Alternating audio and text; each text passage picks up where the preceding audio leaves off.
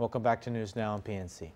Governor Eddie Calvo has sent over his budget request to the Guam legislature over the weekend. The governor says he and his fiscal team believe that the overall outlook on Guam's economy is good, which is why revenue projections for fiscal year 2016 are 8.6% higher than in FY 2015. The governor is expecting GovGuam to collect $851.7 million in revenues for fiscal year 2016. It's not one category or the other, right? I think it's pretty been it's been pretty broad based. Uh, when you take a look at the business privilege tax, it's been very very strong increases. Uh, withholding taxes strong. Uh, your corporate income tax strong. And the governor says hotel occupancy taxes have increased by double digits. So with the governor's spending request, right off the bat, 125 million has been set aside for tax refunds. 50 million of this is for earned income tax credits, which is an unfunded federal mandate. Nevertheless, the governor says there is enough money to increase funding to things like the hospital. We're looking at uh, more than doubling uh, of appropriations uh, to support the hospital, uh, and that comes from the pharmaceutical fund, uh, which is the majority of the subsidy, then a couple of million dollars more from the general fund. For public safety, there is an additional funding to hire more police officers and customs officers. The governor says the budget even gives money to DPW to begin repairing village streets or secondary and tertiary roads. As you all know, in this previous budget, we uh, had uh, appropriated sums for road paving equipment. That is right now in the uh, uh procurement phase at this point. Uh, this upcoming budget will have $2 million specifically in acquisition of asphalt. And that will for repair work in many of our village streets. The governor wants to make this a normal appropriation in the years ahead so that they can take advantage of the talent talented DPW to begin paving village roads. The budget even appropriates half a million dollars for biosecurity to hire people at the Department of Agriculture to fight off invasive species. Well, it is tax season and residents are busy preparing their paperwork and there are already long lines at the Department of Revenue and Taxation. PNC's Rizal Romanes talked with Revenue Tax Director John Camacho this morning and tells us what to expect. Have you filed your taxes yet? Revenue Tax Director John Camacho advises to get them in early. Camacho tells PNC that as of earlier today, 5,500 residents already filed their taxes.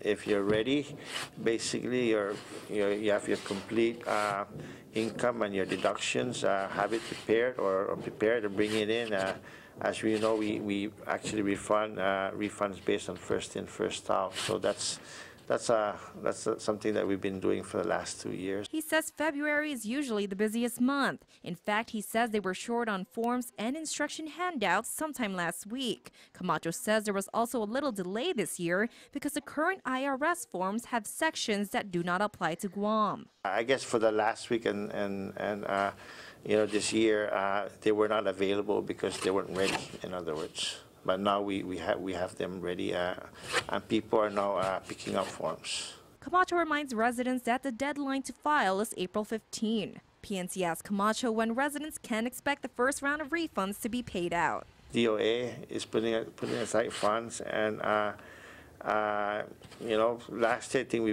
we, we started as early as I think February or March. So hopefully we can start this year again early. We caught up with Charita Mahilam, who just filed her taxes.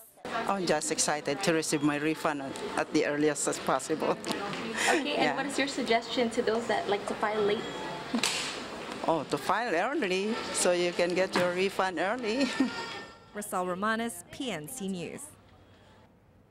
In other news, some school kids enjoyed their day off on this Super Bowl Monday, while principals and teachers worked hard for Professional Development Day. Most Department of Education schools conducted workshops on their own, but six middle schools decided to collaborate. PNC's Rizal Romanes has more in this report. There was a big gathering at Astumbo Middle School earlier today, and it's not because of the Super Bowl. Six public middle schools worked together for their Professional Development Day with Empowering Teachers Through Collaboration 2015. We have many great teachers in each school doing many great things, but now what we want to do is bring that out in the open. um, to state, hey, at Jose Rios, at Untalan, at Agda, at Astumbo, FB, and Benavente, here's what we're doing, here's how we're helping our students succeed. How can we all support you. Here at Astumbo Middle School, principals, teachers, and staff believe that the power of collaboration leads to student success. They participated in team building activities, exchanged notes, and came up with ways to improve student learning in the classroom. And what I saw was absolutely awesome.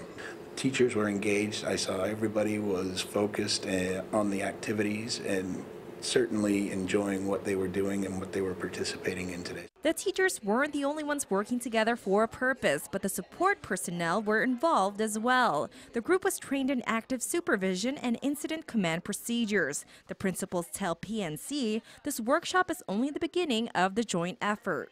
We are looking forward to three, four years of this continuous collaboration between and amongst our teachers so that the transition from one school to another school and also the transition from one grade level to the next is very seamless and that again is in concert with our um, district goals. Rizal Romanes, PNC News. All right, and speaking of middle school, Joanna O is standing by with weather.